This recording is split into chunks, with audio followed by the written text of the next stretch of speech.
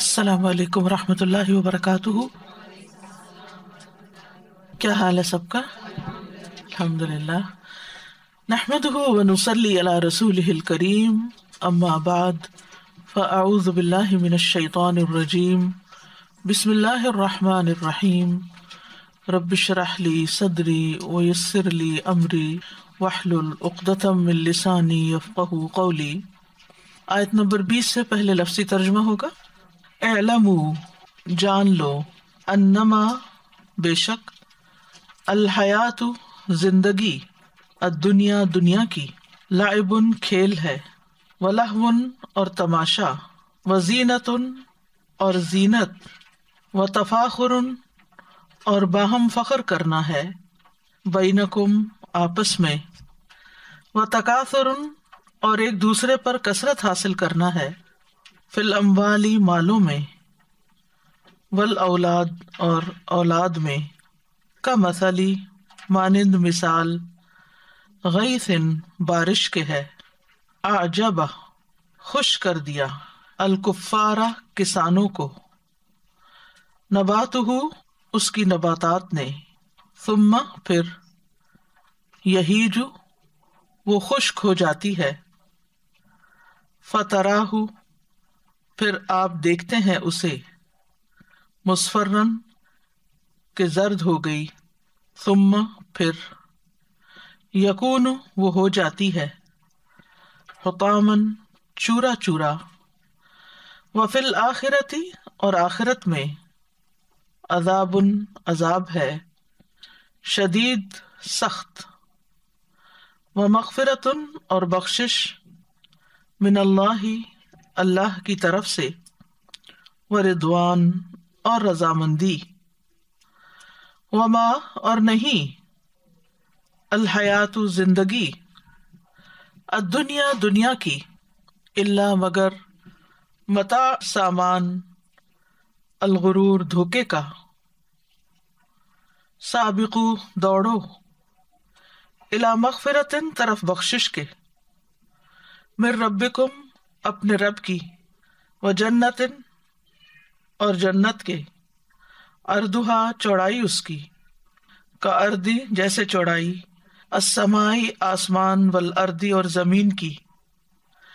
इद्दत तैयार की गई है लिल लदीना उनके लिए जो आमनु ईमान लाए, बिल्लाही अल्लाह पर और रसुल ही और उसके रसूलों पर।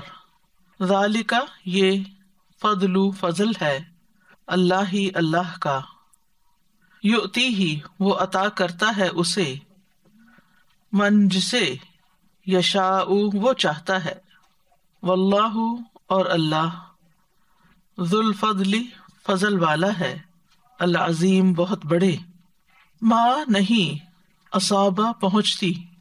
बिम मुसीबतिन कोई मुसीबत फिल अर्दी ज़मीन में, वला और ना, फ़ी अनफुसिकुम तुम्हारे नफ्सों में, इल्ला मगर फ़ी किताबिन एक किताब में है। मिन कबली इससे पहले, अन के नबरा अहा हम पैदा करें उसे। इन्ना बेशक जालिका ये अल्लाह ही अल्लाह पर यसीर बहुत आसान है। लिकई ला, ताकि ना तसौ तुम अफसोस करो। अलामा उस पर जो। फातकुम, खो जाए तुमसे। वला, और ना। तफराहू, तुम इतराओ।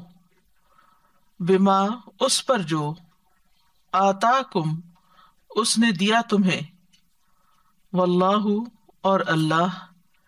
ला नहीं, युहिब्बु पसंद करता। कुल्ल मुख्तालिन, हर खुद पसंद, फखूर, बहुत फखर जताने वाले को। अल्लादीना वो लोग जो यब खलूना बुखल करते हैं।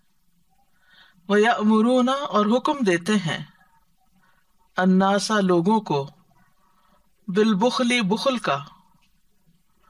वमन और जो कोई या तवल्ला मुँह फेरता है फ इन्ना तो बेशक अल्लाह अल्लाह हुआ वही है। अलगनीयु बहुत बेनियाज, अलहमीद खूब तारीफ़ वाला। लक़त अलबत्ता तहकीक अरसलना भेजा हमने, रसुलना अपने रसूलों को। बिलबैनाती सात वाज निशानियों के। व अनजलना और नाजिल की हमने माहम उनके साथ, अलकिताबा किताब, वल मीज़ाना और मीज़ान। ली ताकि कायम हो, अन्नासु लोग बिलकिस्त इंसाफ पर। व अनजलना और उतारा हमने अलहदीदा लोहा फ़ी ही जिसमें बसुन ज़ोर है शदीद उन सख्त व मनाफ्यू और कई फ़ायदे हैं लिन्नासी लोगों के लिए वलियालमा और ताकि जान ले अल्लाह अल्लाह मन कौन यंसुरहु मदद करता है उसकी व रसुलहु और उसके रसूलों की बिलगैबी गायबाना इन अल्लाह बेशक अल्लाह कवीन बहुत कवी है कुव्वत वाला है अजीजुन बहुत ज़बरदस्त है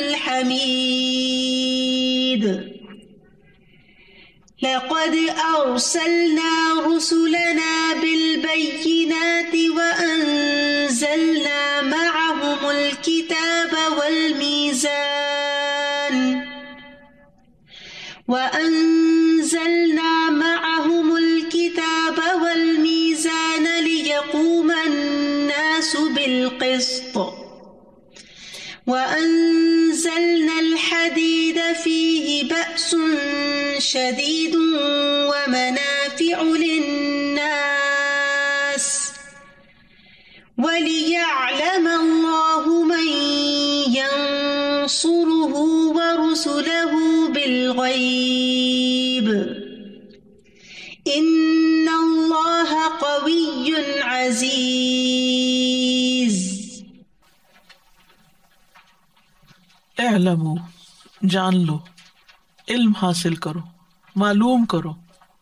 अन्नमल हयात दुनिया, कि ये दुनिया की ज़िंदगी जो है, जो हम गुजार रहे हैं, इसकी हकीकत क्या है? ये लाइबुन खेल है, वलाहवन और तमाशा, वजीनतुन और जीनत, व तफाखुरन बैनकुम और आपस में एक दूसरे पे फख्र जताना, व तकासुरन फिल अम्बाली वल और मालों और औलादों में एक दूसरे से आगे बढ़ना। तो ये पाँच चीज़ें हो गई जो दुनिया की ज़िंदगी में जिनकी दौड़ लगी हुई है। सबसे पहली चीज़ कि दुनिया की ज़िंदगी एक खेल है, लाइव। खेल वो होता है जो इंसान अपने जवारह के साथ खेलता है, यानी अपने हाथ, पाँव, भाग, दौड़, यानी फ़िज़िकल होता है, खेल। और इसमें हर तरह का खेल आ जाता है, जिसको हम खेल तमाशा कहते हैं।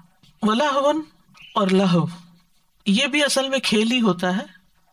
इसमें हर तरह का खेल आ जाता है, लेकिन खास तौर पर जो चीज़ें दिल के साथ होती हैं, यानी जिनमें दिल बहुत लगता है, यानी जिनके साथ दिल मशगूल हो जाता है, महव हो जाता है, यानी जिसमें गफलत भी आती है, ख्वाहिशात भी आती हैं।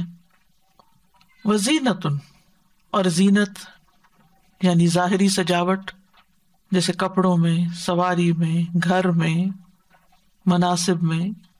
व तफाखुरन और एक दूसरे पे फख्र करना, यानी अपने आप को बड़ा साबित करना। बई न को आपस ही के दौरान, यानी इंसानों का वाहम, जो किसी के करीब होते हैं, उनके साथ मुकाबला करना और उन पर फख्र जताना। ये आमतौर पर इल्म में, माल में। व तकाफुर और कसरत हासिल करना और उसकी मजीद खुद ही वजाहत कर दी गई किस चीज़ में? माल में और औलाद में। और तकासुर बाब तफाउल है। यानी बाहम मुकाबला करना माल और औलाद की कसरत पर। जैसे अहले मक्का कहते थे, नहनु अक्सर अम्बालम व औलादन कि हम माल और औलाद में तुमसे बढ़कर हैं। सवाल ये पैदा होता है कि क्या खेल कूद मना है? क्या इस्लाम खेलने की इजाज़त नहीं देता? क्या लह वो लाइब जो है वो कम्प्लीटली मना है? यानी कोई चीज़ ऐसी नहीं होनी चाहिए कि जिसमें इंसान कोई दिलचस्पी ले। क्या जीनत का इख्तियार करना? साफ़ सुथरा लिबास पहनना, घर को साफ़ सुथरा रखना, गाड़ी को साफ़ सुथरा रखना, जो चीज़ें हमारे जेर इस्तेमाल हैं, उनको अच्छे सलीके से रखना, क्या ये मना है? ये मना नहीं है, लेकिन हदूद के अंदर रहना ज़रूरी है। जो चीज़ हद से बढ़ती है, वो बेफायदा हो जाती है। उसका फ़ायदा कम और नुकसान ज़्यादा हो जाता है। और ख़ास तौर पर उस वक्त जब इंसान को ये सब चीज़ें नेकी से रोक दें, नेक अमाल से रोक दें, अल्लाह के ज़िक्र से रोक दें, और उस वक्त भी मना है जब इंसान से इबादत की लज्जत छीन ले। लाहियतन कलूब हूँ कि उनके दिल मशगूल हैं और ही चीज़ों में, कि नमाज़ में दिल ना लगे, नमाज़ कैद लगे। ज़िक्र अजकार पे जबान ना रुके, क्योंकि और बातें करने की ऐसी ख्वाहिश है यानी अपने दिल पसंद मौजूद पर गुफ्तगु करने की लाभ शेर व शायरी है, इश्क आशकी की बातें हैं, कहानियाँ हैं, किस्से हैं। तो इन चीज़ों में इतना ज़्यादा महब हो जाना कि इंसान कोई संजीदा बात ना सुनना चाहे, ना पढ़ना चाहे, यानी इन्हीं चीज़ों में ही उसको मज़ा आए और इसी में ही बैठा रहे। फिर इसी तरह जेबो जीनत भी माना नहीं है, कुरान मजीद में आता है, कुल मन हर्रम जीनत अल्लाह इबादी ही कि अल्लाह की जीनत को जो उसने अपने बंदों के लिए निकाली, किसने हराम किया है? लेकिन अगर इंसान सारा वक्त अपने आप को जाती तौर पर बनाने संवारने में ही लगा रहे, हद से ज़्यादा फ़िज़िकल फिटनेस के ज़ीरो साइज़ पे ही पहुँचना है, और इसी तरह लिबास में ब्रांडेड क्लोथ्स और जूते और बाकी तमाम चीज़ें, कि जिसमें खूबसूरती से ज़्यादा बाजुकात सिर्फ़ नामबरी भी आ जाती है, जिसमें आगे तफाखुर भी साथ ही शामिल हो जाता है। और तफाखुर बैनकुम, और ना सिर्फ़ ये कि ये चीज़ें इख्तियार करना, बल्कि इनकी बिना पर फिर फख्र भी करना, कि मेरा जूता उससे बेहतर, मेरा बैग उससे बेहतर, मेरा घर उससे बेहतर, मेरी गाड़ी उससे बेहतर। दिल दिल में भी इसकी कैलकुलेशंस करते रहना और कंपैरिजन हर वक्त कंपटीशन रखना, और महफिलों में भी बैठकर इन चीज़ों का बहुत ज़िक्र करना। यानी वो पार्टी के अंदर गैदरिंग के अंदर, मुलाकात के अंदर खास तौर पर इन चीज़ों को मेंशन करना, इन चीज़ों पे इतराना और दूसरों के मुकाबले में अपने आप को बेहतर साबित करना। यानी फखर और गुरूर गुरूर होती है ना वो चीज़ जो जो अपनी हकीकत से बड़ी नज़र आए। यानी उसकी असल वैल्यू उतनी नहीं होती, लेकिन हमारी निगाहों में बहुत ज़्यादा होती है। बहुत सारी ऐसी चीज़ें होती हैं। अब मिसाल के तौर पर अगर आपने किसी भी ब्रांड का जूता पहना हुआ है तो आपको पता है ब्रांड, जिसको पता ही नहीं है ब्रांड है, उसके लिए उसकी क्या हो तो एक जूता है। कुछ हकीकत नहीं। तो इन चीज़ों से धोखा खाना और फिर मालो औलाद की कसरत की बिना पर, और ना सिर्फ़ ये कि उनकी कसरत, बल्कि उनके आगे जो दुनियावी कामयाबियाँ हैं, उनकी बिना पर एक दूसरे पर बढ़ चढ़ कर अपना आप ज़ाहिर करना ये वो चीज़ें हैं कि जिसकी वजह से इंसान हकीकत से दूर हो जाता है, अल्लाह से दूर हो जाता है। ज़िंदगी में कोई बड़े काम नहीं कर सकता, आखिरत को भूल जाता है। तो अल्लाह सुबहान तारा फरमाते हैं कि इन सब चीज़ों की मिसाल किसकी तरह है? कमस अली गैसिन बारिश की तरह है। गैस वो बारिश होती है जो ड्राउट के बाद आती है, जिसका इंतज़ार होता है, जिससे सैराबी होती है। आजबल कुफारा, जो ताज्जुब में डालती है, अचंभे में डालती है, खुश कर देती है अलकुफारा कुफार। के दो माने हैं, एक किसान और दूसरे जो कुफार कुफार हैं, क्योंकि दुनिया की रौनक और जेब जीनत पर वो ज़्यादा खुश होते हैं।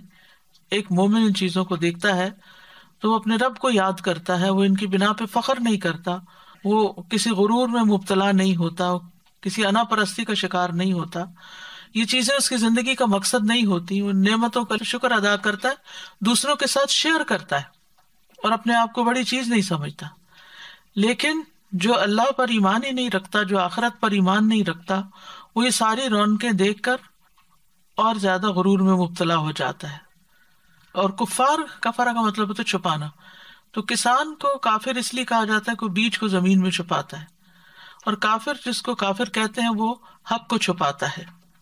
आज अब अलकुफार नबात हूँ तो ऐसी ज़मीन जो खाली पड़ी हुई थी, फिर बारिश हुई, फिर उस पर पैदावार हुई तो वो पैदावार देख के वो खुश हो जाता है, ताज्जुब में आ जाता है कि कल तक इस ज़मीन का क्या हाल था, आज क्या हुई? यानी कल मेरे पास कुछ नहीं था, आज मेरे पास इतना कुछ आ गया। लेकिन फिर वो जो कुछ आता है, उसका अंजाम क्या होता है? तुम यहीजू। फिर वो खेती, वो नबातात खुश्क हो जाती है। यजिफू फतरा हो तो तुम देखते हो उसको। मुस्फरन कि वो जर्द हो गई। यानी मौसम बदल गया, या पानी की कमी की वजह से वो पीली पड़ गई। सब्ज और स्याह के दरमियान एक चीज़ होती है जो जब खजा आती है तो आपने देखा होगा पत्तों का रंग जो है, पीले से थोड़ा ब्राउनिश सा हो जाता है। फतरा हो मुस्फरन कि वो पत्ते उड़ के जो कल तक सब्जे का मंजर पेश कर रहे थे, आज वो उड़े फिरते हैं इधर उधर, जर्द होकर, गिर कर। तुम यकून होतामा। फिर वो चूरा चूरा हो जाती। यानी नतीजा क्या होता है? जवाल। ये है दुनिया की ज़िंदगी, कि जिसकी रौनक चंद दिन की है। कि जब इंसान को नई नई मिलती है तो इंसान फूले नहीं समाता। खुश हो जाता है। कोई भी चीज़ इन चीज़ों में से जिसमें मसला नया घर लिया तो उस वक्त कैफियत क्या होती है? और नया फर्नीचर है, नए कर्टन हैं, नई क्रॉकरी है, जैसे किसी की शादी होती है और एक नया घर बनता है तो हर एक को शौक होता है, भला देखें। दुल्हन नए नए कपड़े पहनती है, हर एक को शौक, आज क्या पहना, आज क्या पहना। फिर इसी तरह नई गाड़ी ली तो कौन से ब्रांड की ली, और हर एक को होता है कि हमें भी एक राइड इस मिल जाए तो चेक करें, खासतौर पर लड़कों को, इसका बहुत शौक होता है। और हर जाने वाली गाड़ी का नाम और उसकी किस सन की है और क्या है खूब मालूम रखते हैं। लेकिन वही चीज़ जब पुरानी हो जाती है तो फिर उससे बेजार हो जाते हैं। फिर उसको छोड़ने का दिल चाहता है। तुम यकून होतामा। फिर एक दिन आता है कि सब कुछ खत्म होके रह जाता है। बने हुए घरों की एज होती है, फिर उसके बाद उनको गिरा दिया जाता है।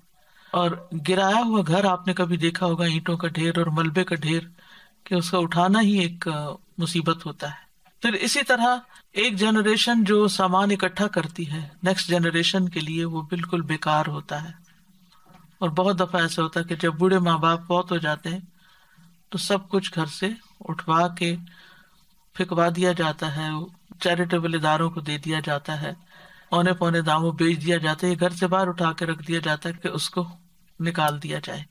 और नए डिज़ाइन की सब चीज़ें आए अब नए ब्रांड्स की आए। और फिर ये नए ब्रांड्स फिर एक दिन इनका भी अंजाम यही होता है। और बारहा ये हम हर बदलते सीज़न में देखते हैं। और यहाँ कनाडा में तो खास तौर पर सारे सीज़न अपने जोबन पर होते हैं कि जिनकी तब्दीली भी बहुत नोटिसेबल होती है। कि जब बाहर आती है तो मंजर क्या होता है और जब सब ग्रीन होने के बाद येलो होता है तो हर चीज़ बदल जाती है। रंग बदल जाते हैं। और फिर वही दरख्त बिल्कुल नंगे हो जाते हैं और ज़िंदगी यूँ लगता है एटॉल्ट खत्म हो गई।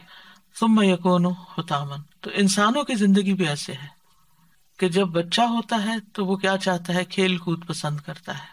भाग दौड़ भाग दौड़। आप देखें, कहीं भी दो बच्चे इकट्ठे हो जाएँ, कुछ ना कुछ क्रिएटिव खेल निकाल लेंगे और कुछ नहीं तो सोफों से कुशन ही नीचे इकट्ठे करके फेंकना मारना शुरू कर देंगे, कोई नई गेम ईजाद कर लेंगे।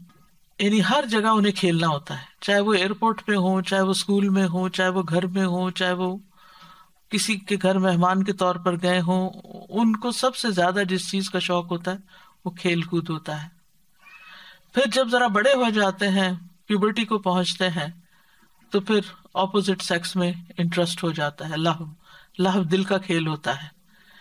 और, उसमें वो अट्रैक्शन जो है, वो उनको बाजुकात बहुत दूर तक ले जाती है और माँ बाप जितना भी रोकें, जितना भी समझाएँ, जो भी करें, लेकिन यानी कि कुदरती सी बात है कि वो समझते हैं कि दुनिया इसी के गिर्द घूमती है।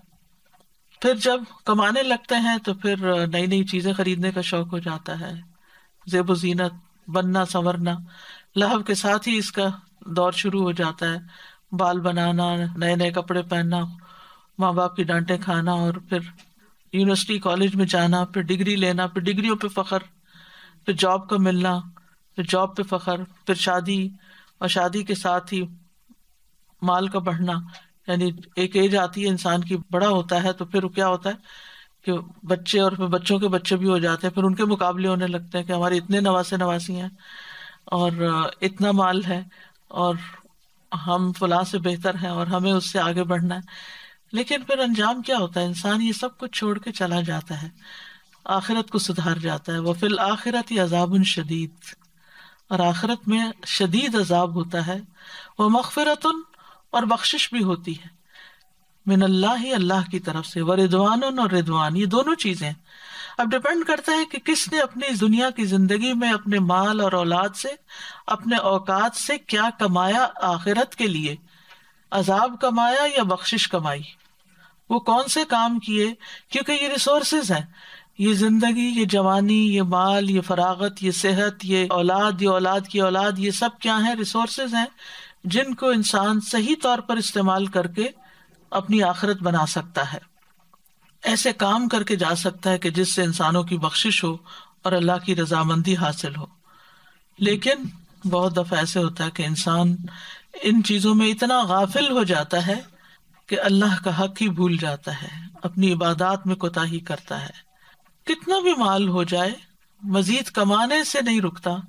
चाहे उसमें नमाजें जाएँ, चाहे उसमें जक़ात की अदायगी हो या ना हो, हज अदा किया हो या ना हो, यानी इन चीज़ों के अंदर इतनी मशगूलियत कि अपने फराइज भी अदा न किए तो फिर क्या है सीधा सीधा अजाबन शदीद? और दूसरी तरफ़ अगर इंसान इन सब चीज़ों के होते हुए अल्लाह से डरते हुए ज़िंदगी बसर करता है अल्लाह के दीन के लिए भी वक्त निकालता है। तो अल्लाह की तरफ़ से बख्शिश आती है, पर ऐसा नहीं कि इंसान परफेक्ट हो जाता है। फिर भी दुनिया में रहते हुए ये कैसे हो सकता है कि एक कश्ती पानी में और उसको पानी छुए ना? ये दुनिया एक पानी की तरह एक समुन्दर की तरह है, और इंसान कश्ती की तरह है कि उससे इसी से गुजरना है, इसी समुंदर से। तो कभी पानी अंदर आ जाता है, कभी इंसान उसमें डूबने लगता है, और अगर और कुछ नहीं तो वो पानी छूता ज़रूर है उसको। तो उसको बख्शिश की तो हर हाल में ज़रूरत है। वरिदवान और कुछ लोग सिर्फ़ बख्शिश की सतह पर नहीं जीते, बल्कि अल्लाह की रजामंदी भी चाहते हैं। और अल्लाह की रजा हासिल करने के लिए वो हर वो काम करते हैं जिससे रब राज़ी हो, वो अपने माल को, अपनी जान को, अपनी औलाद को इस काम में लगा देते हैं कि जिससे अल्लाह राज़ी हो जाए। यानी कि ज़्यादा से ज़्यादा नेकियाँ करते हैं। और किसी भी नेकी पर राज़ी होकर नहीं बैठ जाते कि बहुत हो गया, बल्कि उनको छोटा ही लगता है। आखिरत में ही जाकर पता चलेगा कि दुनिया की रौनकों की क्या हैसियत थी, उनकी क्या हकीकत थी। क्योंकि इस वक्त जब इंसान उस समुन्दर के अंदर है तो उसे, उससे बाहर नज़र कुछ नहीं आ रहा, उसे दिखाई नहीं दे रहा, उसे कोई किनारा समझ में नहीं आ रहा, लेकिन बहरहाल एक दिन उसे किनारे पे पहुँचना है और इस कश्ती से उतरकर ज़मीन के अंदर जाना है। फिर उसको समझ में आएगा कि वो क्या करके आया है। क्योंकि दुनिया में इंसान बाजुकात भूला रहता है, धोखे का शिकार रहता है। क्योंकि एक दूसरी जगह अल्लाह सुबहान ताला फरमाते हैं, ला यगुर्रन कुमुल हयात दुनिया वला यगुर्रन कुम बिल्लागरूर दुनिया की ज़िंदगी तुम्हें धोखे में न डाले और वो बड़ा धोखेबाज, यानी शैतान भी तुम्हें धोखे में न डाले। ममल हयात दुनिया इल्ला मता गुरूर। और नहीं दुनिया की ज़िंदगी मगर धोखे का सामान। यहाँ की कोई चीज़ भी कोई चीज़ भी मुस्तकिल नहीं है। हर चीज़ को जवाल है। जवानी को जवाल है, सेहत को जवाल है, माल को जवाल है, औलाद को जवाल है। कोई भी यहाँ बाकी रहने के लिए नहीं है। हर एक को यहाँ से जाना ही जाना है। जैसा कि अल्लाह सुबहान तला कुरान मजीद में फरमाते हैं, कुल्लु मन अलैहा फान वजह रब्बिका विल जलाली तो बहरहाल वो तमाम चीज़ें जो इंसान की दिल पसंद है और जिनसे इंसान को मोहब्बत है जुयन लिन्नासी हुब्बु शहवाति मिनन निसाई वल बनीन वल कनातीर मुकंतर वगैरह वगैरह। वो जो पूरी लिस्ट सूरत आल इमरान में दी गई, इन सब चीज़ों से इंसान को दिलचस्पी है, लेकिन हकीकत यह है कि कुल नब्बी हुकुम बखैर मिन जालिक।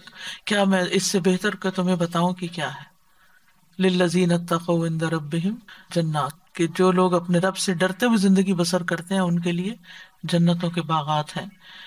तो बहरहाल, इंसान को मुख्तलिफ़ चीज़ों से मोहब्बत भी होती है, उन पे फख्र होता है।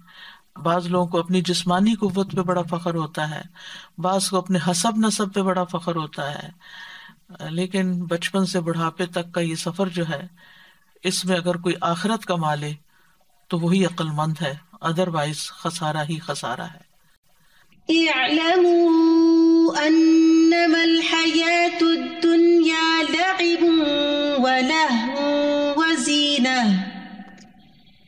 लइब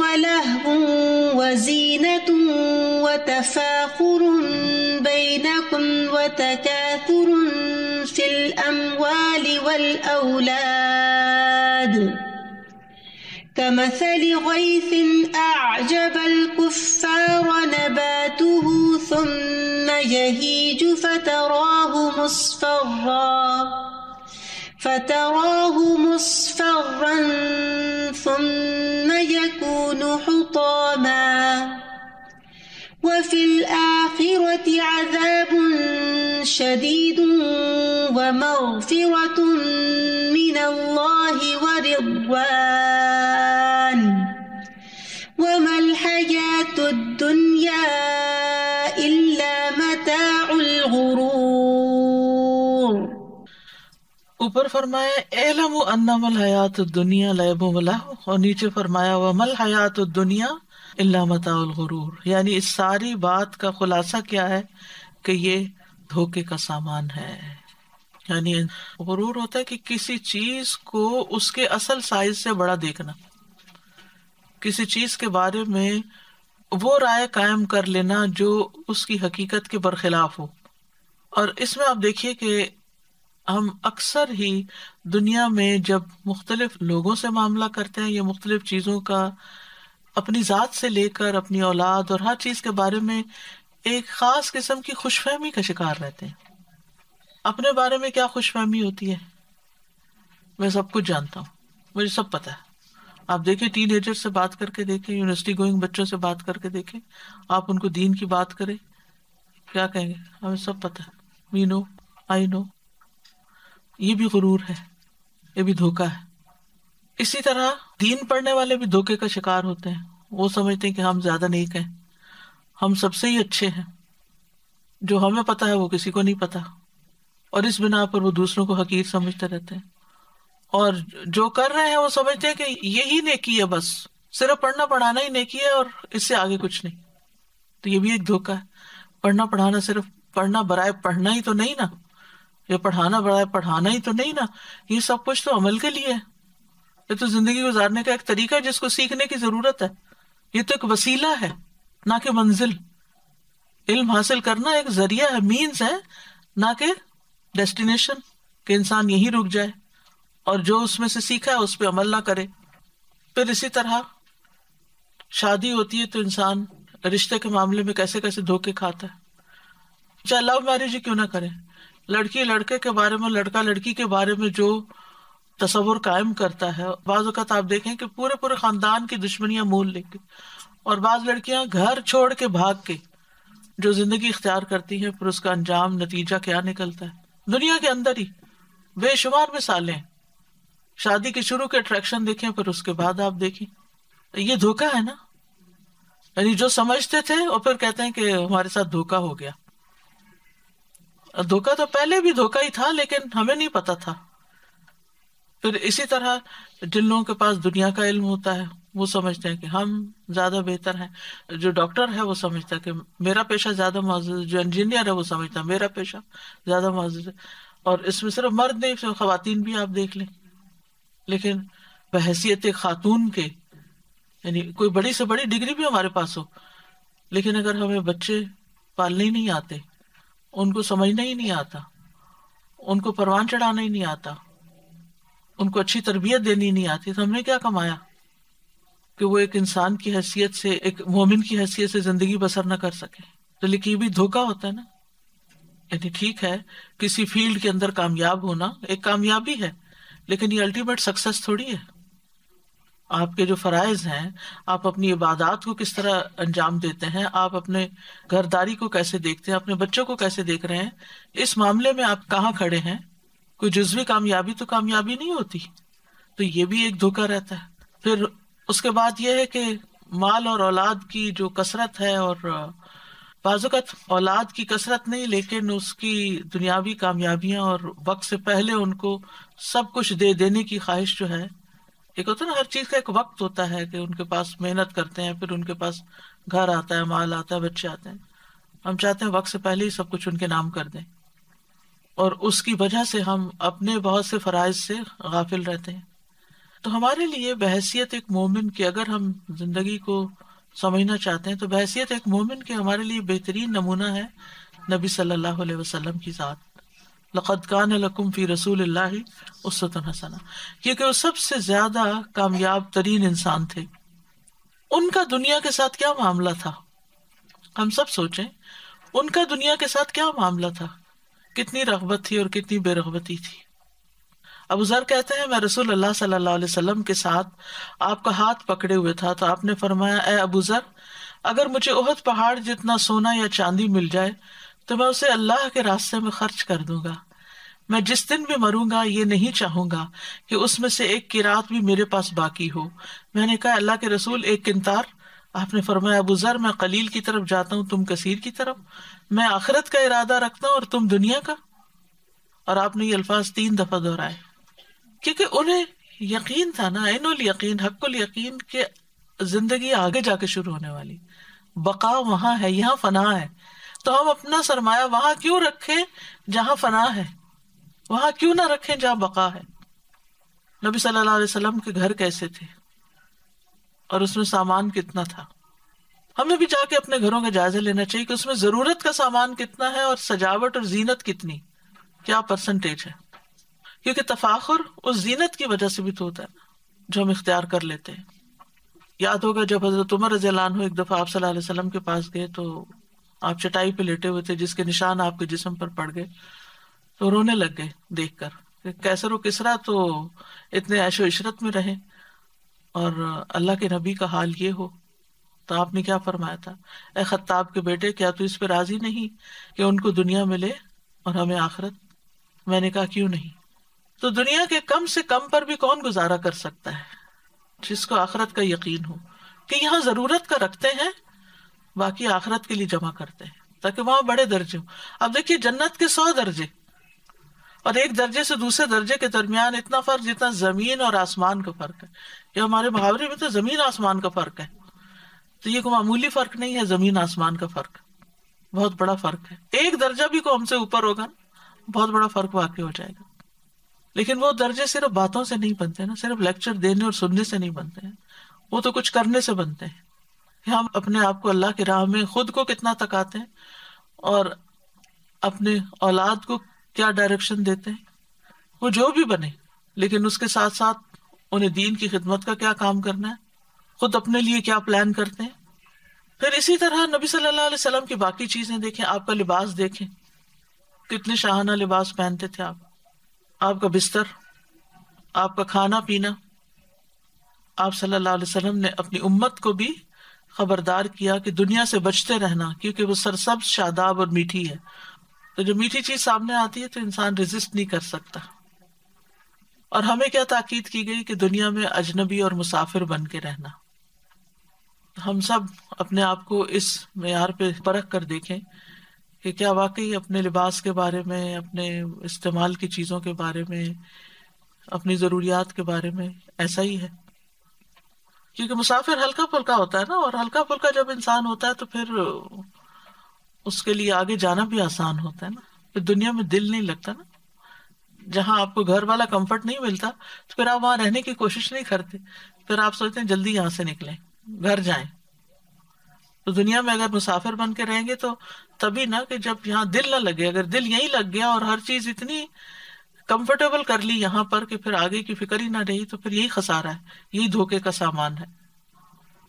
जो सदा आपने बात कही थी कि जो भी हमें नेमत मिलती है चाहे वो माल की शक्ल में है औलाद प्रॉपर्टी इल्म कुछ भी है वो सिर्फ़ हमें इतने वक्त के लिए मिलती है बस। हम्म।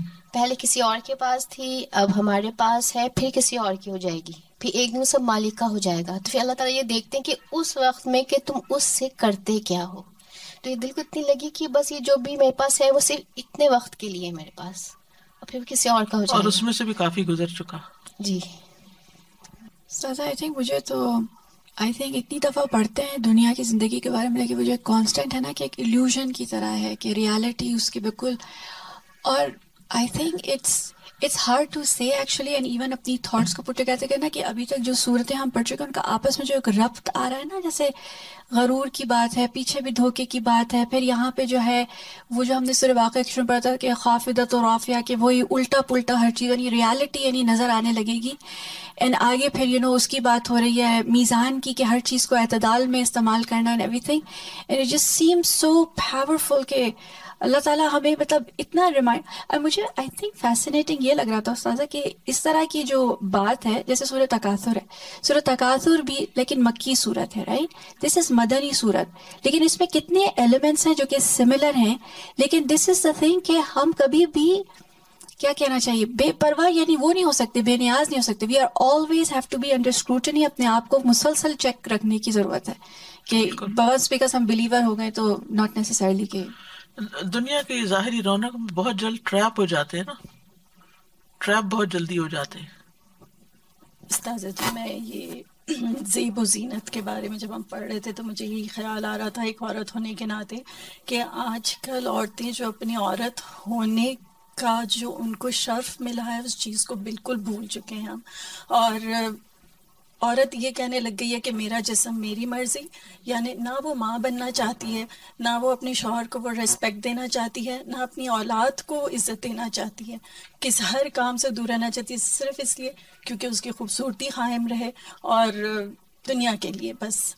एक जो बहुत ही वक्ती और टेम्प्ररी है और इसमें बस मुझे यही बहुत हो रहा था कि मर्द एक तो स्पेशली ये भी धोखा है ना कि मेरा जिसम है ये। मेरा जिसम। ये मेरा नहीं है। नहीं कह सकते। ये भी एक अमानत है। ये अमानत है अल्लाह की। तो और मर्ज़ी कहाँ से आएगी फिर? माँ बन के जो आपको शर्फ मिलता है उसके बाद आपकी औलाद होती है। औलाद के बाद औलाद होती है जिसमें बेटे भी होते हैं। आप बेटों को भी ना मतलब पैदा करना चाहते हैं ना वो इज़्ज़त देना चाहते हैं जो कि वो मर्द है जो आपका महरम है जो हम मरने के बाद भी हमें खबर में उतारने वाला है। हमें जो इज़्ज़त देनी चाहिए वो हम किसी को भी नहीं दे सक रहे सिर्फ़ इसलिए कि हम खूबसूरत रहें दुनिया के लिए। खूबसूरती कितने साल रहती है? ये भी कितना बड़ा धोखा है। यानी फिर औरत की असल ज़िंदगी अगर खूबसूरती वाली देखी जाए तो वो कितनी शॉर्ट हो जाती है। यानी फिर टोटल ज़िंदगी उसने क्या एंजॉय की? अगर सिर्फ़ खूबसूरती ही एंजॉय करने की चीज़ है तो फिर उसका ड्यूरेशन कितना है? उसमें इतना रुतबा अपना बड़ा आप खो रहे हैं अपने माँ बनने का शर्फ हासिल करने के बजाय। हर लिहाज से हर लिहाज से। खसारा। बहुत दुख होता है इस चीज़ पर। सादा जी जैसे दुनिया की हकीकत को देख के ये समझाया जा रहा है कि ज़िंदगी में आप ऐसे रहें जैसे स्ट्रेंजर रहते हैं जैसे अजनबी। तो दुनिया में अगर आप अजनबी की तरह रहेंगे और इतना कुछ अपनी कंफर्ट और लग्जरी नहीं करेंगे तो आपका दिल भी कम लगेगा वहाँ पे। दिल उकता जाएगा जल्दी यहाँ से निकलो। एक तो ये और दूसरा उन कामों की तरफ़ ज़्यादा तवज्जो हो जाएगी ना फुर्सत मिलेगी। फुर्सत मिलेगी। जहनी फुर्सत वैसे फुर्सत जब दुनिया के लिए यानी कि सिर्फ़ दुनिया की जेबो जीनत के लिए थकेंगे नहीं तो फिर अपने आप को किसी और चीज़ में थकाएँगे किसी ना? और चीज़ में। और इस पर एक इब्ने तैमिया का कॉल था। मैं थोड़े दिनों पहले ही पढ़ रही थी कि वो जो इंसान है वो ही ट्रीट्स दुनिया like he treats his donkey तो जैसे वो अपने गधा अगर किसी के पास है तो वो उसे कैसे ट्रीट करेगा? सिर्फ़ राइड के लिए ही उससे काम लेगा? राइड लेगा उससे, फिर उसके बाद वापस उसे बाँध देगा। उससे दिल तो नहीं लगाएगा, उससे, उसके साथ तो बस, दिल लगी नहीं करता रहेगा सारा सारा दिन। इतना ही काम करेगा जितना वो काम कर सकता है। तो और वो अगर कभी बीमार हो गया या कभी मर गया तो ठीक है, दूसरा गधा भी खरीद लेगा वो। ऐसा नहीं कि आप ज़िंदगी भर उसके पीछे रोता ही रहेगा कि ये मेरा गधा मर गया, मैंने काम वाम सब बंद कर देना सो लाइक ये दुनिया है, दुनिया से भी इतना ही काम लेना है जितनी ज़रूरत है। इतना ही उसमें से खाना पीना है जितने हमें ज़िंदा रहने के लिए ज़रूरत है। एक रिसर्च के मुताबिक इंसान अपनी ज़िंदगी के शुरू से आखिर तक, जैसे एक साठ सत्तर साल का इंसान होता है, उसको अपने सारी जरूरियात और ख्वाहिशात के लिए फिफ्टी मिलियन से ज़्यादा नहीं चाहिए। यानी टोटल जो खर्च कर सकता है।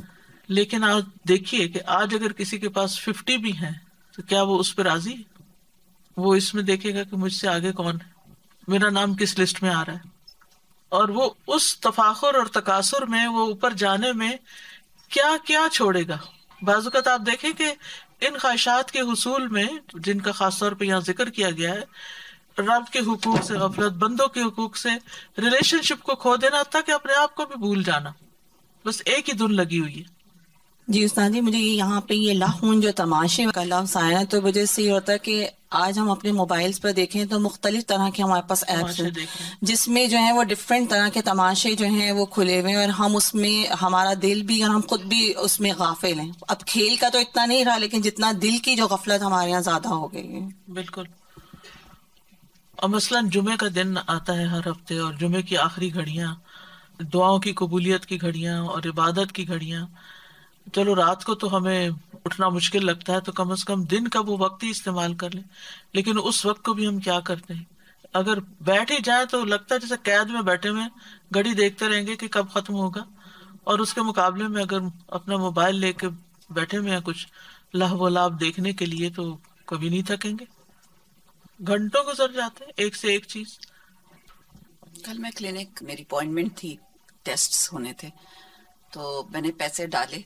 और पैसे डाल के मैं देखने लगी कितने आवर्स के लिए, कितनी देर के लिए मुझे जाना है। हालाँकि मेरा अपने ही टेस्ट थे और अपने ही सारा जग मैं देख रही थी, लेकिन वही बात है कि कॉन्शियस इतना बंदा हो जाता है जब ये वक्त स्पेंड कर रहा होता है। साथ पैसे देख रहा है कि कितने पैसे पर आवर डालें, कितनी कितनी देर लगेगी, कितना वहाँ रहना है। तो उसी तरह आपका बिहेवियर हो जाता है। जल्दी जल्दी आप काम करते हैं, यही दुनिया का मामला है। कि हम देखें हम क्या खर्च कर रहे हैं, कितना खर्च कर रहे हैं, कहाँ पे जा रहे हैं, किधर टाइम हमारा स्पेंड हो रहा है तो वो उसमें ज़्यादा फिर बंदा कॉन्शियस होके टाइम गुजारता है। किसी स्कॉलर ने कहा था कि सबसे बड़ी दौलत जो इंसानों ने सबसे ज़्यादा जाया की है, वो टाइम की दौलत है। आपने जो बात की ना, कम सामान और ज़िंदगी आसान, कम दुनिया को काफ़ी समझ लेना भी अक्लमंदी है रसूलुल्लाह सल्लल्लाहु ने फरमाया, जो शख्स तुम में से अमन के साथ सुबह करे और उसके पास दिन का खाना भी हो तो गोया सारी दुनिया उसके लिए इकट्ठी हो गई। सब कुछ है उसके पास। एक और जगह पर फरमाया, वो आदमी कामयाब हो गया जिसने इस्लाम कबूल किया। ज़रूरत और किफायत के मुताबिक उसे रोजी नसीब हो गई और अल्लाह ने उसे अपनी नेमतों पर कनात की दौलत अता कर दी, कि मेरे लिए काफ़ी है, बहुत है। आप सल्लल्लाहु अलैहि वसल्लम ने फरमाया, ये बात इंसान की सादत मंदी की अलामत है कि उसे नेक पड़ोसी, आरामदेह सवारी और कुशादा मकान मैसर। हो यानी ये चीज़, ये फैसिलिटीज़ जो है, ये मना नहीं है। लेकिन कुशादा मकान को अगर हम दुनिया के सामान से ही भर दें और अपने रहने के लिए फिर जगह तंग कर लें तो फिर ये अकलमंदी नहीं।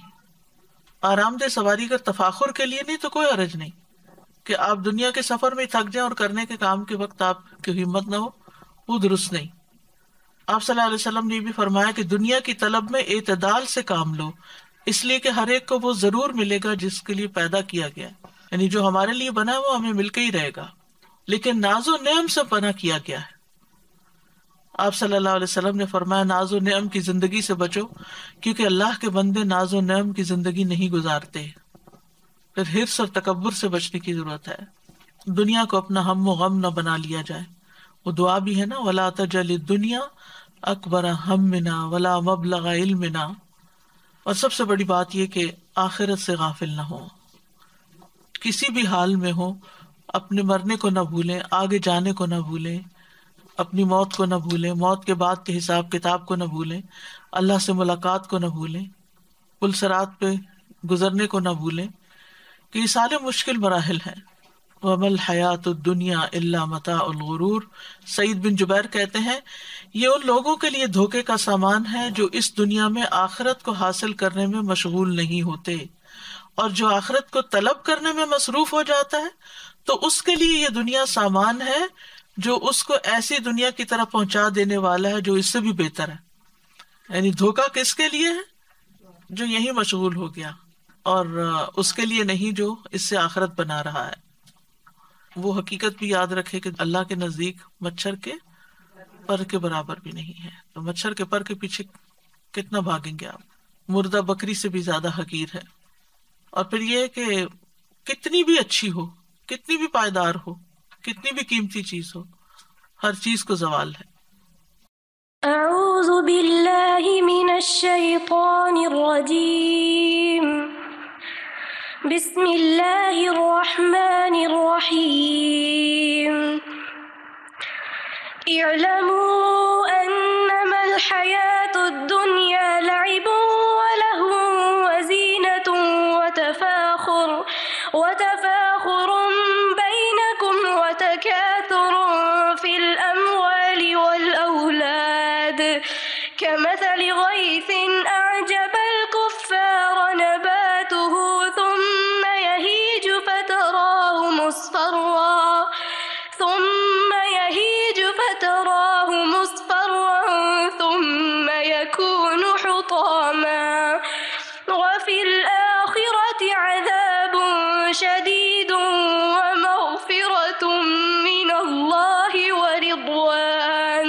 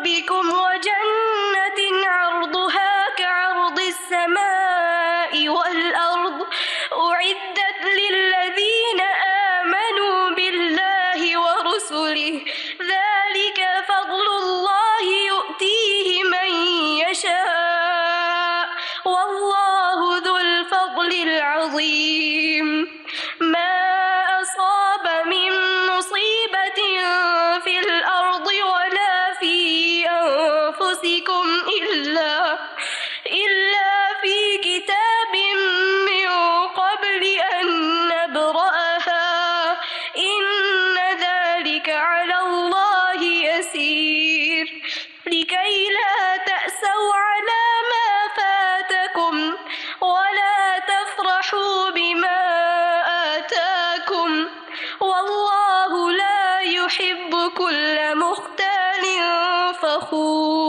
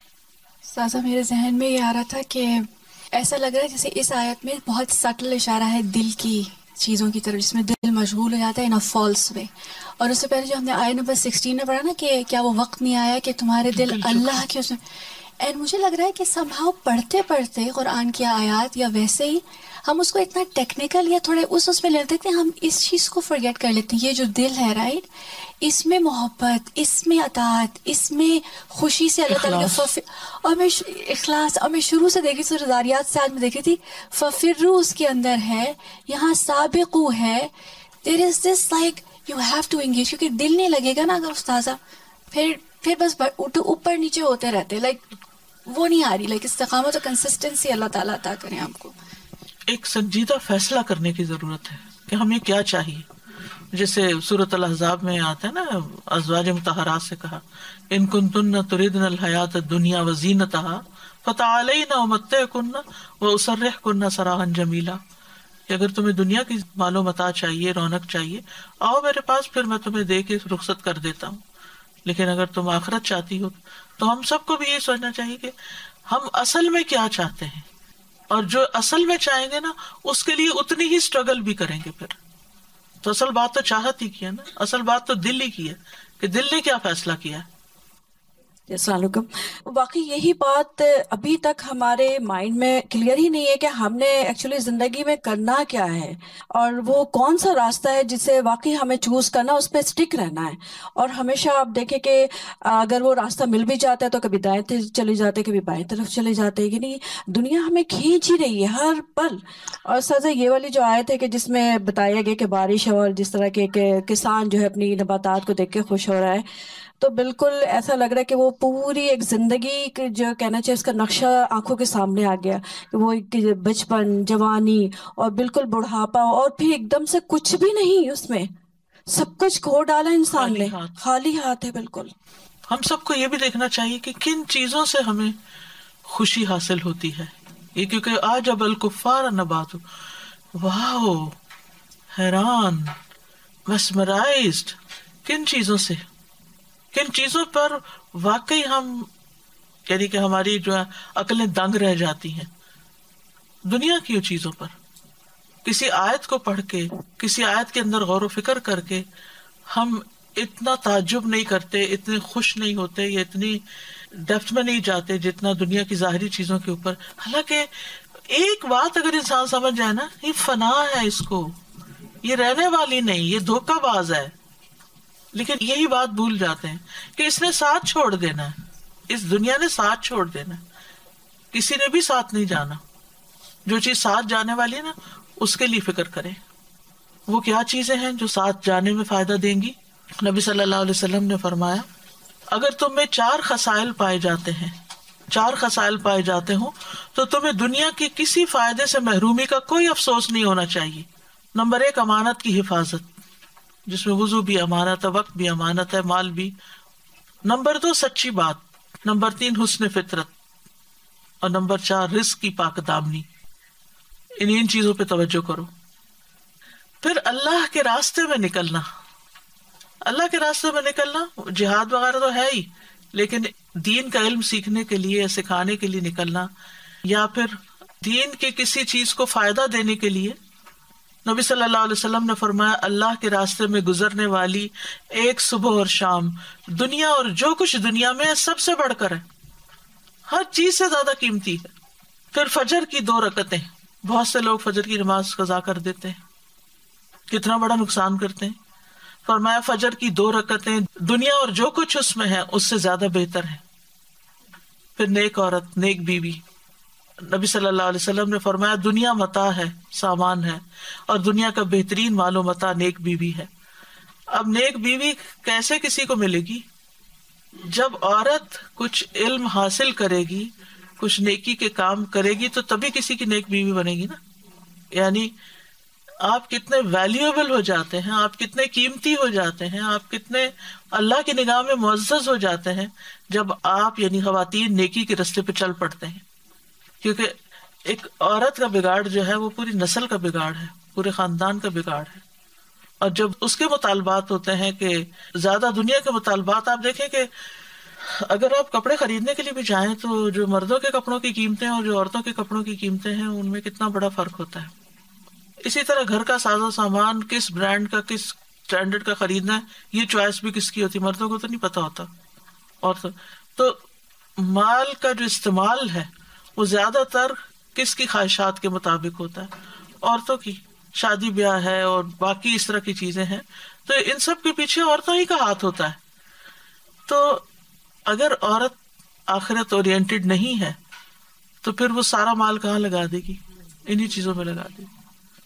और अगर उसको आखिरत की फ़िक्र है तो वो खुद अपने हाथ से भी और शोहर को भी इसी पे उकसाएगी कि खैर के कामों में लगाओ नेकी के कामों में लगाओ तो सबसे बेहतरीन मता हो गई ना फिर, कि जो उसकी आखिरत बनाने वाली हो, अपनी भी और मर्द की भी। तो कितनी बड़ी ज़िम्मेदारी है औरत के ऊपर। लेकिन ये हो नहीं सकता ना जब तक औरत के अंदर अल्लाह का खौफ ना हो, जब तक औरत के अंदर दीन ना हो, दीन की समझ ना हो और उसके लिए कोशिश ना करे। बार बार ये सबक दोहराने की ज़रूरत है कि कितने दिन रहना है दुनिया में और ये सब कुछ जो बना रही हूँ, या बनाती जा रही हूँ, ये किस काम आएगा? छोटी से छोटी चीज़ों से शुरू करें। लिबास से शुरू करें, शूज़ से शुरू करें ज्वेलरी से शुरू करें, बाकी तमाम चीज़ों से, यानी हर चीज़ के बारे में नज़र रखें, खुद पे खुद चेक रखें। क्योंकि औरत जब ज़्यादा का मुतालबा करती है तो फिर मर्द हराम में भी पड़ता है। या फिर उसकी ख्वाहिशात पूरी नहीं होती तो वो फिर खुद काम को निकल जाती। जब खुद काम को निकल जाती तो आप खुद सोचे कि फिर उसके फरायज, उसकी नमाजों से लेके, उसके बच्चों की तरबियत और बाकी सब चीज़ें कितनी मुतासर होती हैं। सभी के हकूक मुतासर होते हैं। अगर घर में बूढ़े वालदेन है तो उनके हकूक मुतासर होते हैं। शोहर है तो उसका हक नहीं देती। और बच्चे हैं तो वो इग्नोर्ड हैं। फिर कहीं की भी नहीं। और ज़्यादा किस लिए चाहिए? ख्वाहिशात की तकमील के लिए। ये आयत हमारे लिए भी है। साबिकू इला व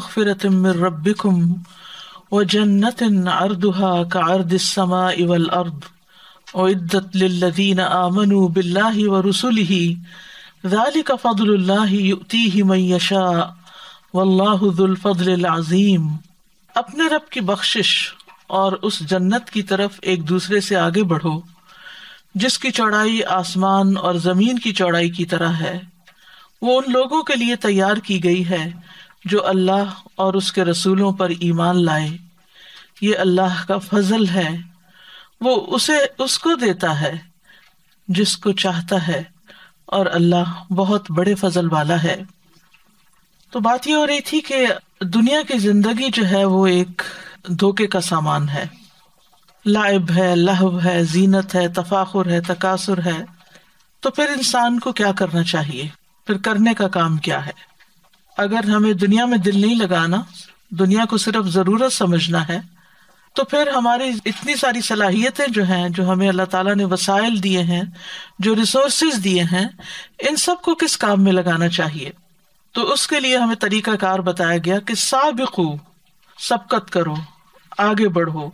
साबिकू का लफ्ज जो है, ये सिबाक से है। सबक यस बिकु सबकन, जिसका मतलब होता है दौड़ लगाना, आगे जाना। और साबिकू, फाइलू के वज़न पर, दौड़ में एक दूसरे से आगे बढ़ना। यानी आगे बढ़ो, दौड़ लगाओ और यहाँ कंपीट करो। दुनिया के मामले में एक दूसरे का मुकाबला करने की बजाय किस मामले में आगे बढ़ो? आखिरत के मामले में। इला मगफिरत रब्बिकुम, अपने रब की बख्शिश की तरफ़, यानी असबाब मगफिरत की तरफ़ बढ़ो। व जन्नतिन, और जन्नत की तरफ़, जन्नत की तरफ़ दौड़ लगाओ। दुनिया तो फानी है, दुनिया को तो जवाल होना है। दुनिया ही के लिए क्यों अपना आप खपा रहे हो कि अपनी ज़िंदगी, सेहत और अपनी ताकतें और अपने सारे वसाइल सिर्फ़ यहीं के लिए क्यों लगाए चले जा रहे हो? इनको आखरत के लिए भी लगाओ, जन्नत के लिए लगाओ। कैसी है वो जन्नत? वो नेमतों भरी जन्नत दारुन नईम, अर्दुहा का अर्द समा इवल अर्द। जिसका फैलाव जिसकी वुसत आसमान और ज़मीन जैसी है। जन्नत की वुसत को और दुनिया के मुकाबले में, दुनिया में आप देखें कि ज़मीन पे हम रहते हैं तो ज़मीन का भी कितना हिस्सा हमारे पास है। किसके मालिक हैं हम? और जिनके पास घर अपना नहीं हो तो किसी भी चीज़ के मालिक नहीं। तो इससे कंपेयर करो उस जन्नत को कि जिसकी वसत जिसकी चौड़ाई, जिसकी फराखी जो है, वो आसमान और ज़मीन के बराबर है। कौन नाप सकता है आसमानों को और कौन नाप सकता है ज़मीन को? यानी बियॉन्ड योर इमेजिनेशन अब बजाय इसके कि इस बात पे गौर किया जाता और इसकी अजमत और वसत से दिल भर जाता और इस पे हम वाह कहते कि इतनी बड़ी जन्नत मिलेगी। बाज लोगों ने कहा कि अच्छा अगर आसमानों और ज़मीन में जन्नत है तो फिर जहन्नम कहाँ है? तो बात यह है कि अल्लाह सुबहान तआला ने हमें यही आसमान और ज़मीन दिखाए हैं जिससे हमें एक बात समझाने की कोशिश की है। किसने कहा कि अल्लाह की तखलीक में सिर्फ़ ज़मीन और आसमान ही है और इसके बियॉन्ड कुछ नहीं? ये तो हमारी अकल छोटी है ना।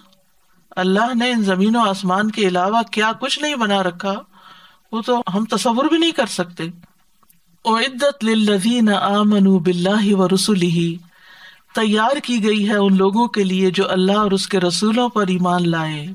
यानी इस जन्नत में जाने की सबसे पहली फ़र्स्ट एंड फॉरमोस्ट शर्त और कंडीशन क्या है?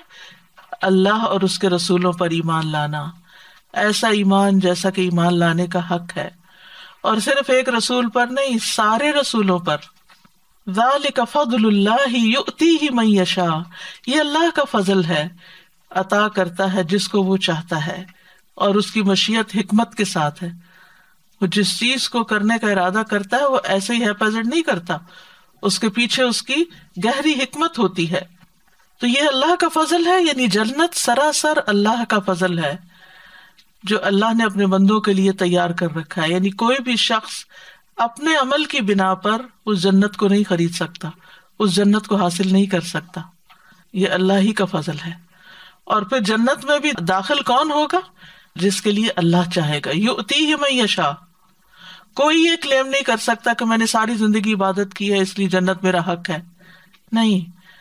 अगर कोई ये कहे कि मैं अपने अमाल की बिना पे जन्नत में दाखिल होना चाहता हूँ, और ऐसा शख्स होगा भी तो उसके सारे अमल तराजू के एक पलड़े में रख दिए जाएँगे, और दूसरी तरफ़ सिर्फ़ एक नेमत रख दी जाएगी।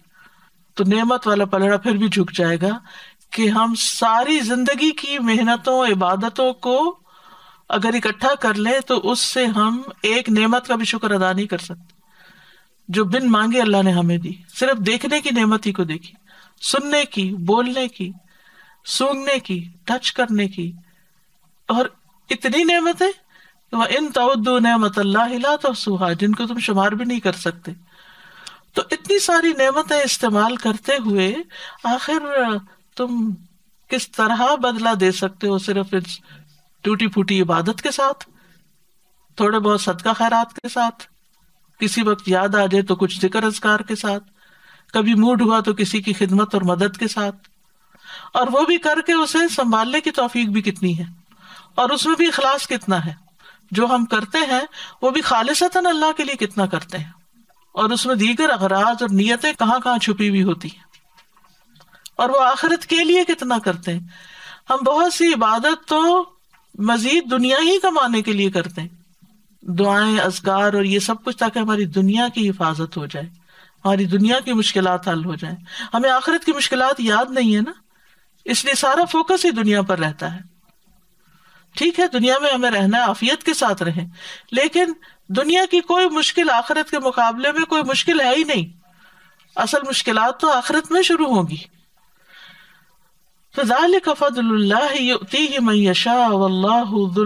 अज़ीम और अल्लाह बहुत बड़े फजल वाला है यानी अल्लाह का फजल बियॉन्ड हमारी इमेजिनेशन है और सबसे बड़ा फजल क्या है कि उसने हमें ईमान अता किया फिर उससे ईमान और अपनी पहचान के साथ साथ हमें उसने कुरान दिया और रहमान अल्लम अल कुरान इस कुरान के ज़रिए हमें सीधी राह मिली। हमें क्या करना चाहिए और क्या नहीं करना चाहिए, वो इसी के ज़रिए हमें पता चला। और फिर हमें जन्नत की पहचान कराई, जहन्नम की पहचान कराई। तो हमें करना क्या चाहिए? देर नहीं करनी चाहिए, क्योंकि हमें उम्र और सेहत और किसी भी चीज़ का भरोसा नहीं है कि हमारे साथ क्या होता है। हमें नेकी के कामों, बख्शिश के असबाब की तरफ़ दौड़ लगा देनी चाहिए। और उन कामों को करने का शौक और फ़िक्र होनी चाहिए कि जो हमारी आखिरत में हमारे लिए बख्शिश का सामान बनेगी। इसलिए सिर्फ़ ये नहीं कि बस जब दिल चाहा, जब मूड आया, कुछ कर लिया। नहीं, बल्कि किस चीज़ का मुतालबा किया गया है? मुसाबकत का, मुकाबले का, आखिरत के लिए भाग दौड़ का, और मगफरत के असबाब तलाश करने का, और मगफरत के असबाब में से सबसे पहला सबब तो खुद मगफरत मांगना ही है, यानी अल्लाह से बख्शिश का सवाल करना कि अल्लाह मुझे बख्श दे। और ये बख्शिश तलब करते रहें। और फिर वो सारे काम जिससे इंसान की बख्शिश हो जाती है, यानी तौबा और इस्तगफार में सबकत करें। माफ़ी मांगने में देर ना लगाएँ। गलती हो जाए, भूल जाए तो उसमें देर ना करें कि तौबा कर लें। फ़ौरन पलटे, फ़ौरन रुजू करें, फ़ौरन इस्तगफार करें। दिल के ऊपर पहला ख्याल जो आए कि मैंने ठीक नहीं किया तो बस फिर देर ना लगाएँ। अपनी गलती के ऊपर डटे नहीं, अपनी गलती के ऊपर जमे नहीं, अपनी गलती को गलती मान लें। उसकी तोजीहात नहीं करें, उसके पीछे लॉजिक नहीं दें। और गुनाह के बाद फ़ौरन तौबा करें।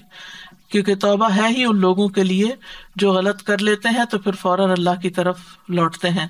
इन नमत तौबत अल्लादीन यामलून सूअ बिजहालतिन सुम्म यतूबून मिन करीब। तौबा जिसका कबूल करना अल्लाह के जिम्मे है, सिर्फ़ उन लोगों के लिए है जो जहालत से बुराई करते हैं भूल चूक से कर जाते हैं। और फिर जल्द ही तौबा कर लेते हैं, करीब से ही तौबा कर लेते हैं। यही वो लोग हैं जिन पर अल्लाह मेहरबान हो जाता है और अल्लाह हमेशा से सब कुछ जानने वाला, कमाल हिकमत वाला है। रसूल अल्लाह सल्लल्लाहु अलैहि वसल्लम ने फरमाया, बाई तरफ़ वाला फरिश्ता छह घड़ियाँ मुसलमान गुनागार बंदे से अपना कलम उठाए रखता है। अगर वो शर्मिंदा हो और अल्लाह से उस गुनाह की बख्शिश मांगे तो वो कलम रख देता है, वरना एक गुनाह लिख लेता है। तो ये भी अल्लाह ताला की कितनी बड़ी रहमत है। और फिर ये कि दिन रात तौबा का दरवाज़ा खुला है। किसी वक्त भी बंद नहीं होता। हर रोज तौबा की जा सकती है। अल्लाह सुबहान ताला रात के वक्त अपना हाथ फैलाता है ताकि दिन का गुनागार तौबा कर ले। और दिन को अपना हाथ फैलाता है ताकि रात का गुनागार तौबा कर ले। यहाँ तक कि सूरज मगरिब से तुलू हो जाए। हर रोज कहाँ से तुलू होता है? मशरक से होता है। यहाँ तक कि मगरिब से तुलू हो जाए। फिर तौबा कबूल नहीं होगी। और फिर हसन बसरी कहते हैं, कसरत से इस्तगफार किया करो अपने घरों में, अपने दस्तर खानों पर, यानी खाना खाते हुए भी, कि हम इतनी नियमतें खा रहे हैं और इसके मुकाबले में हम अल्लाह की इबादत के लिए क्या वक्त निकालते हैं, बंदों की खिदमत के लिए क्या करते हैं। तो अपने दस्तर खानों पर, अपने रास्तों पर, बाजारों में, मजलिसों में, जहाँ कहीं भी तुम हो, तुम्हें नहीं मालूम कि कहाँ बख्शिश नाजिल हो जाए, कहाँ बख्शिश मिल जाए, कौन सी बख्शिश कबूल हो जाए। फिर इसी तरह ऐसे काम करने चाहिए मफफरत के इसबाब बनने वाले अमाल करने चाहिए। जैसे इन हसनात यूजिबन सयात जब खता हो जाए तो उसके बाद कोई नेकी का काम करे, एक्स्ट्रा सदका खैरात करे, ज़िक्र अजकार करे, अल्लाह से रो के माफ़ी मांगे। हदीस में भी आता है, अतब इसैत हसनत तम होगा बुराई के पीछे नेकी लिया वो उसको मिटा देगी। फिर इसी तरह अगर कोई बड़ा गुनाह हो गया है, अच्छी तरह वज़ू और दो नफल, जिसमें अपने नफ्स से कोई बात ना की जाए खुशबू के साथ। फिर इसी तरह तकलीफ़ में वज़ू करना जो है, ये भी गुनाहों को मिटाने का सबब है। फ़र्ज़ नमाजें, वो मिसाल जो दी गई ना कि किसी के दरवाजे पे नहर और पाँच दफ़ा ना है तो ये पाँच दफ़ा अपने गुनाहों को धोना है। जुमा की नमाज़, आधी रात को नमाज़, यानी तहजद पढ़ना। फिर इसी तरह खास तौबा के नफल पढ़ना, सदका करना। सदका करना जो है वो गुनाहों को मिटा देता है। फिर मजाले से ज़िक्र में शिरकत करना, ज़िक्र की मजलिसों में शिरकत करना।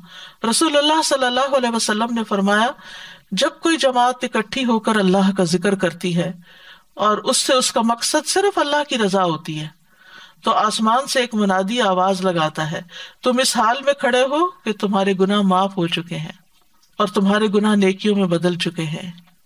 सुबह अल्लाह कितनी बड़ी बरकत है कि ज़िक्र की मजलिस में हाजिर होना और दीन सीखने के लिए इकट्ठे होना। यानी दोहरा फ़ायदा है ना? ना सिर्फ़ ये कि गुनाह माफ़ होते हैं बल्कि जो गुनाह किए होते हैं, वो भी नेकियों में बदल जाते हैं। फिर मगफरत के इसबाब में से वालदेन के साथ नेकी करना। अगर ज़िंदा है तो उनकी खिदमत, उनका दिल खुश करना। और अगर वो फौत हो चुके हैं तो उनकी तरफ़ से सदका करना, उनके लिए दुआ खैर करना। एक शख्स हजूर सल्लल्लाहु अलैहि वसल्लम की खिदमत में हाजिर हुआ, अर्ज़ किया, या रसूलुल्लाह, मैंने बहुत बड़ा गुनाह किया है। क्या मेरे लिए तौबा की गुंजाइश है? आपने उससे पूछा, क्या तुम्हारे वालदेन ज़िंदा है? उसने कहा, नहीं। पूछा, खाला ज़िंदा है? उसने कहा हाँ। तो फरमाया, उसके साथ नेकी करो।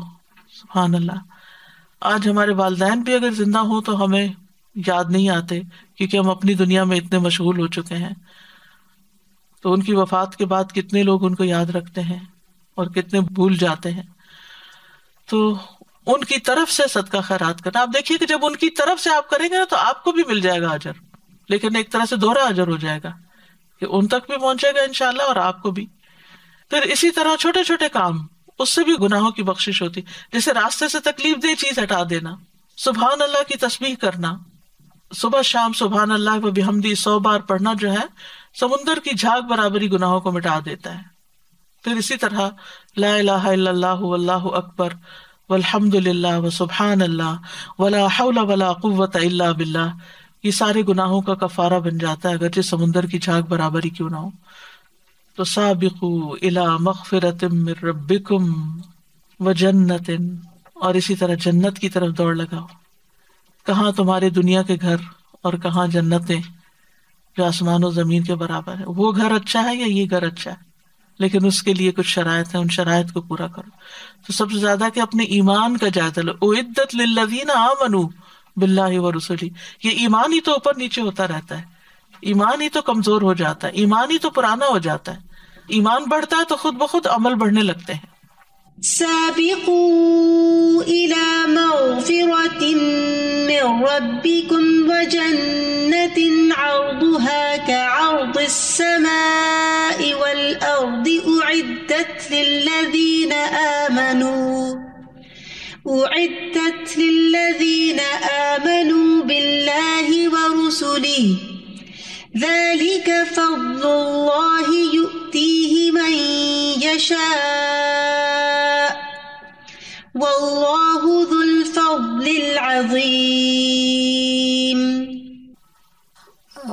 उस्तादा मैं सोच रही थी कि अभी जैसे हमने लास्ट टाइम हमने पढ़ा था कि जो क्वालिटी हम स्पेंड करते हैं वही क्वालिटी हमें वापस मिलती है यानी जिस क्वालिटी का हम सदका करेंगे बेशक उसी क्वालिटी की चीज़ वापस मिलती है। ज़ाहिर है जो देंगे वही मिलेगा ना। बिल्कुल। तो मैं वही सोच रही थी क्योंकि जो हमारे माशरे में आम है कि लोग बोलते हैं कि बुढ़ापे में इबादत करेंगे। तो पूरी जवानी वो लोग पूरी दुनिया में लगाते हैं और बुढ़ापे में तो हमारी क्वालिटी क्या रह जाती है उस टाइम ना खड़े हो सकते हैं नमाज़ में प्रॉपरली बिल्कुल। फिर बैठ के नमाजें शुरू हो जाती है। बिल्कुल। और बैठ के सोने लगते हैं। और फिर फिर भूल जाते हैं। उसका एग्ज़ाम्पल जो हमने सूर्य बकरा में आज पढ़ रहे थे, मरियम इस्लाम की वालिदा ने अपनी बेटी को अल्लाह के रास्ते में फ़ी सबील्ला उनको कुर्बान कर दिया कि मैं अपने लिए उनसे कुछ नहीं चाहती। तो हमें भी वो एग्ज़ाम्पल लेने चाहिए। जो क्वालिटी हमें अपनी बढ़ानी है। तो हम जो दुनिया में लगे हुए हैं हम वहाँ से हटके थोड़ा अब यहाँ सोचे क्योंकि हम तो तालीम इल्म ले रहे हैं जो सारी चीज़ें हैं और ये होने वाली है। तो वहाँ जो क्वालिटी होगी वो बड़ी जी हाँ अगर अगर देखा जाए हम सब कहते तो हैं आखिरत लेकिन अपने लिए और अपने बच्चों के लिए उनको किस चीज़ के लिए ज़्यादा तैयार कर रहे हैं? मैं नहीं कहती कि दुनिया के लिए तैयार नहीं करना चाहिए उन्होंने दुनिया में रहना है उन्हें दुनिया के लिए तैयार करना है लेकिन क्या उस दर्जे का या उससे बढ़कर आखिरत के लिए भी तैयार कर रहे हैं। और वो एग्जांपल जो अ, मैं अभी एक डॉक्यूमेंट्री देख रही थी मोहम्मद सल्लल्लाहु अलैहि वसल्लम के बगल में अबू बकर सिद्दीक रज़ी तआला अन्हु की कब्र है उनके बगल में उमर रज़ी तआला अन्हु की कब्र है। मैं कह रही थी वो क्यों इतने करीब है? क्योंकि वो आखिरत में बिलीव करते थे और जैसे वो साबिकुन साबिकुन आगे आगे भागने वाले थे। बिल्कुल। तो हमें उनको फॉलो करना हमें हमें अपने सहाबियों को देखना हमें अपने अम्बियास को देखना है वो क्या करते थे? बिल्कुल। साजा एक तो यही कि शायद के फ़ौरन बाद बता दिया गया कि जिस चीज़ों में लगे हुए उसको छोड़ के इस चीज़ों की तरफ़ चले जाओ। लेकिन साथ में ऐसे लगता है कि एक स्ट्रगल है और एक पुल और पुश का एक स्ट्रगल हो जैसे। दुनिया हमें खींच रही है पुल करिए मैग्नेटिक फोर्स की तरह। और हमें उसको धक्के देना है बार बार और ये ये प्रोसेस होता है। मैं खुद ये फील करती हूँ कभी कभी चीज़ों में लग जाए फिर ये ख्याल आता है कि किस चीज़ में टाइम लगा दिया मेरा सारा टाइम चला गया। तो वो एक वो वो एक कांस्टेंट कोशिश जब तक नहीं होगी तो वो हो नहीं और हमें लगता है कि वही धोखेबाज शैतान तो हमारे साथ है ही है। मैं सोच खाला का कितना बड़ा दर्जा है अल्लाह ताला ने गुनाह किसका दर्जा? खाला का खाला का बहुत बड़ा बड़ा दर्जा। दर्जा दिया है। खाला तो कल उम। एक और जगह पर आता है कि खाला जो है वो माँ की तरह है। जी और ये कि बहरहाल हमें उनकी अपने गुनाह माफ़ हो जाते हैं। उनके साथ नेक नेकी अब सब लोग अपनी खाला के लिए कुछ ना कुछ ज़रूर करें और कुछ नहीं तो दुआ ज़रूर करें। हाँ, पहले अपने वालदेन के लिए फिर उनके लिए। और पैसा खर्च करना। और आप अपनी एक बहन के लिए भी दुआ करें। वो पाकिस्तान गई हैं और वहाँ उनका एक्सीडेंट हो गया है और काफ़ी ज़्यादा इंजर्ड हैं वो। ट्रैवल भी नहीं कर सकती। क्या वो तो नहीं जो यहाँ बैठती थी? अल्लाह सुबहान ताला उनको सेहत दे। मैं यही सोचती हूँ कि हम ये बातें पढ़ते रहते हैं और कोई पता नहीं किस वक्त कौन सी तकलीफ़ आ जाए। बस मैं ये बात है अभी आपने खर्च करने पे कहा कि अल्लाह ताला अगर दे तो आप दीन पे खर्च करें नवाजा ने अभी एक शादी की मूवी शायद सबने देखी उनकी वीडियो पे आई थी। मेरे पास भी इतना उन्होंने पैसा लगाया है फूल पत्तियों पे मैं कहती हूँ चलो वो तो जो भी कर रहे हैं उन्होंने तो कुरान नहीं पढ़ा। उन्होंने तो दीन नहीं पढ़ा। लेकिन हम जो कुरान पढ़ रहे हैं दीन पढ़ रहे हैं हम लोग अपना भी जायजा ले लें कि हम कहाँ खड़े हमारे पर? आप बताएँ ना हम लोग बात करते हैं। उसूल उसूल पे चले स्टैंड लें पक्का रखें अपने आप को। अगर आखिरत याद रहेगी ना कि मुझे वहाँ के लिए कुछ करना है। तो फिर आपकी सारी नुकता नज़र ही बदल जाएगा। जब हमें दुनिया की रौनकें अपनी तरफ़ खींचती हैं तो फिर हम भी छलांग लगा लेते हैं उधर उसमें। असल में ना, हमें अल्लाह की नाराज़गी का डर नहीं है। हमें ये होता है, लोग नाराज़ हो जाएँगे। हमें ये भूल जाता है कि अल्लाह ताला क्या कहेंगे? ये याद रहता है, लोग क्या कहेंगे? सारा डर ही लोगों का है। यही तो ईमान में खलल है। I just wanted to say कि जो recent situation with the virus जो um, हरम को बंद किया गया just for cleaning purposes temporary तो मैं जब वो देखी तो मुझे थोड़ा डर लगा तो personally so I just wanted to share that experience so when I when I reflected when I was looking at a live presentation वहाँ का काबे का तो वहाँ पे बिल्कुल खाली था मुझे ऐसा डर लगा कि अगर अल्लाह चाहा तो कोई बंदा पास भी नहीं आ सकता right the Kaaba whatever the reasons are तो आई वॉज़ रिफ्लेक्टिंग नाउ आप जब बता रहे थे कि तोबा के दरवाजे बंद होते हैं तो इतना मुझे एक सिमिलरिटी लगी कि दुनिया वालों ने रोक दिया तो हम उस चीज़ से महरूम हो गए हम काबे की तरफ़ जा नहीं सकते। तो मैंने जब देखा तो मैंने आई प्रेड राइट अवे कि अल्लाह मुझे प्लीज़ अपने अपने घर बुला ले वहाँ पे मुझे जाना है। कोई रोके ना हमको क्योंकि we take this for granted कि चलो नेक्स्ट ईयर कर लेंगे उम्र नेक्स्ट ईयर कर लेंगे हज।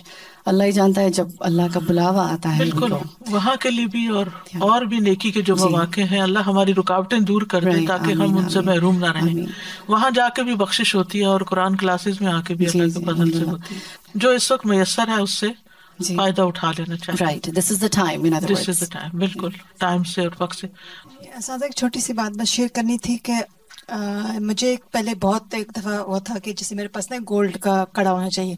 मुझे कोइंसिडेंटली ऐसे वो पैसे मिल गए तो मुझे था कि मैं करूँ। तो मैंने फ़र्स्ट टाइम उस वक्त आपका लाइव लेक्चर था और मैंने वो मतलब एक्स्ट्रा वैसे पैसे मिले थे सैलरी में तो बोनस जैसे कहते हैं। तो मैंने उसके लिए रखा तो मुझे शौक था। तो फ़र्स्ट टाइम मुझे मौका मिला आपकी लाइव क्लास अटेंड करने का वो दुबई में। तो उस वक्त भी कुछ इसी तरह की आयात चल रही थी और I was listening to those आयात और मैं आपको कंटिन्यूसली ऐसे ऑब्ज़र्व कर रही थी तो मैंने कहा फॉरगेट अबाउट द कड़ा। मैंने कहा, इतना knowledge no jewellery no makeup no nothing तो आई, मुझे अपनी उस सोच पे इतनी शर्मिंदगी हुई। और अल्हम्दुलिल्लाह, उस दिन से लेकर अल्हम्दुलिल्लाह, इन चीज़ों से ऐसा वो होता ना कि like you don't I don't like it at all तो मैं सोचती कि वाकई ऐसी गैदरिंग में और ऐसे लोगों को अपना, जैसे होता है ना रोल मॉडल बनाने में कि जो वो कह रहे हैं और वो जो खुद प्रेजेंट कर रहे हैं how much we are listening and understanding and following कि यहाँ बैठ के बातें करके तो I mean it's fine but how we are implementing what you are teaching us तो that I think it's makes a lot of difference और उससे ज़िंदगी इतनी आसान हुई कि जैसे आपने कहा ना कि खामन पे कोई बोझ नहीं है अभी।